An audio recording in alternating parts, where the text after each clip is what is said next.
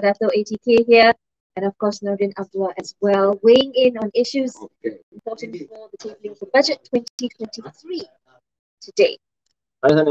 Great. So, uh, for, for everyone out there, get on, uh, get online uh, at uh, bernama.com, or you can just tune in on on uh, on uh, Astro 502, and and you'll be able to see what we're going uh, to say about the budget, especially. Of course, we've got the we've got the big man here himself, Dato.